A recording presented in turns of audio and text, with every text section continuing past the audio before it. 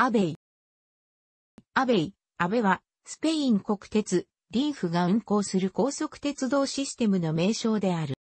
アベイは、スペインの高速の意の略称であると同時に、スペイン語で鳥の意味で、翼を広げた鳥が列車のシンボルマークになっている。車両は最初に開通したマドリードとセビリア間の高速新線では、フランスの TGV の技術供与を受けて作られたものが運用されているが、軌道、信号システムはドイツの高速新線用のもの、LZB が導入されている。部分開業したマドリードとバルセロナの間の高速新線では、ドイツのアイス車両のアイス3を基本にしたベラロイー、ビラーイ、以前の名称はアイス350と国内で開発されたタルゴ車両であるタルゴ350が運用され、世界最高の時速 350km での営業運転が実現する予定だったが、信号システムの不具合のため、時速 300km にとどまっている。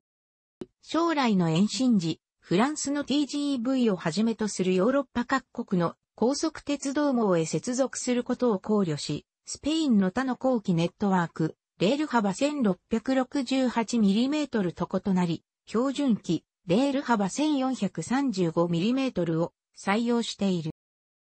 アベイは、セビリア万博の開催に合わせて1992年4月21日に、マドリードとセビリアの間、471km が開業した。マドリードとバルセロナの間の建設が進められ、2003年10月11日にマドリードとリエイダ間、2006年12月18日にリエイダとタラゴナ間が、そして2008年2月20日にバルセロナまで延伸開業した。マドリード・バルセロナ間では高速新線と従来の後期路線をまたいで、高速鉄道の電車では世界初の機関可変電車アルビアが運行されている。座席数320で、クルブ、特等車とプレフェレンテ、一等車とトリスタ、二等車の3クラスに分かれており、クラブとプレフェレンテでは食事サービスがあり、天井に設置されたモニターで、ビデオサービスが行われるなど、航空機との競争が強く意識されている。他のヨーロッパの高速列車で、同様の一等車乗客へのサービスは、ユーロスター、タリス、スウェーデンの X2000 などで行われている。30分以上の延着で料金の100%払い戻し、15分から30分以内の延着で料金の50%払い戻しの制度がある。2009年7月、現在が実際にはもともとかなり余裕のあるダイヤ設定がなされているため、遅れることはほとんどない。むしろ時刻表に記載された到着時刻より5分以上早く着くことが多い。1992年の開業前は、トブ、トレンアルタベロジーダットと呼ばれていた。出展。アベイシステムの中心ハブは、マドリードのアトーチャ駅。アベイは、高速長距離線、アバントは、高速中距離線に与えられる名称。アルビア、アルビアは、部分的に高速走行システムを使用するものである。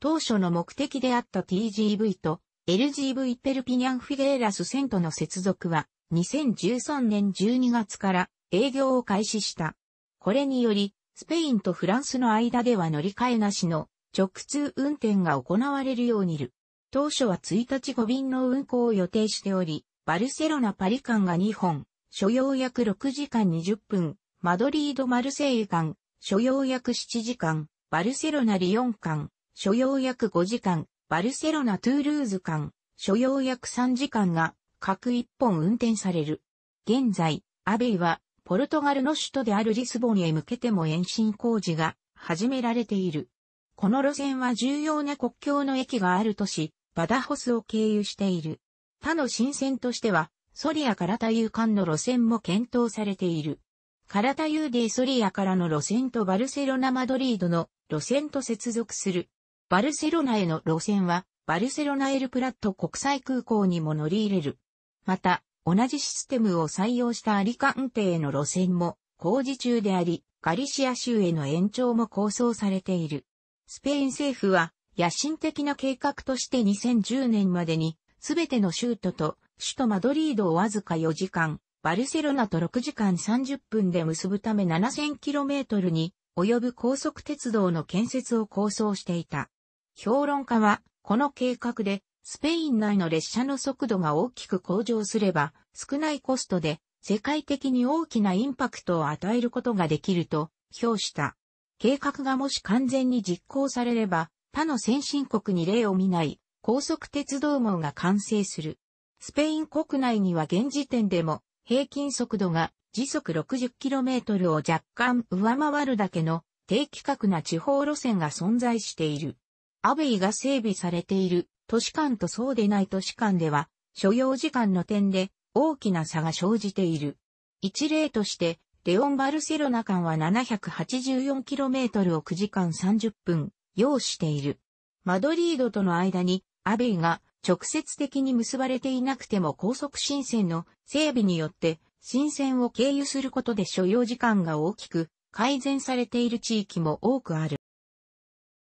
スペインの鉄道インフラを管理するアディフで2007年3月30日に開催された役員会によると総額10.3億ユーロに上る工事契約の承認がなされた。2005年1月1日のアディフ発足以来、1回の役員会で承認された投資額としては最大規模となる。このうち高速新線関連の契約額は8.9億ユーロと80%以上が高速新線関連契約となった。主な建設区間はポルトガル方面、マドリード・バダホスの最初の区間、モンティーホ・バダホス間 20.2km。この区間は貨物列車の走行も考慮されている。マドリード・バルセロナ間の高速新線は、地質学的な問題から、当初予定していた最高速度で列車を走行させることができていない。地質学者は、アラゴン州の弱い粘土地盤に建設されたことに関して反敵であった。路盤の近くでは穴も発見されている。このアベイの新路線は、トンネルの設計、信号システム、列車の最高速度等、様々な失敗で大きく苦しんでいる。最近では、バルセロナの19世紀の脆い建築物の基礎のもとに、浅いアベイのトンネルを敷設する計画で、約5万人の居住者を激怒させた。その結果、バルセロナの前市長のジュアン・クロス・イ・マテウの政治的な将来を脅かした。サグラダ・ファミリアの建設にも大きな影響を及ぼすと報道された。新幹線や中国高速鉄道はホームからアクセシビリティに乗車できる構造になっているが、アベイはデッキに3段の階段があり、車椅子利用者は1人では乗車できない。2013年7月24日、首都マドリードからフェロルに向かっていた列車がガリシア州サンティアゴでコンポステーラ郊外で脱線転覆し、乗客218人、乗務員4人が乗車しており、死者80人、負傷者139人の大惨事となった。この区間の制限速度である時速 80km の約2倍の速度で走行していたことが明らかにされている。1972年7月21日にセビリア県で起こった正面衝突事故79人死亡を上回り、スペインの鉄道事故としては過去最悪の死者数を記録した。なお、1944年1月3日に、レオン県、トーレデルビエルソで起こったトーレデルビエルソ鉄道事故の公式の死者数は78人であるが、フランコ体制下だったために、事故はほとんど報じられることなく、実際には200から800人が死亡したと推定されている。楽しくご覧になりましたら、購読と良いです。クリックしてください。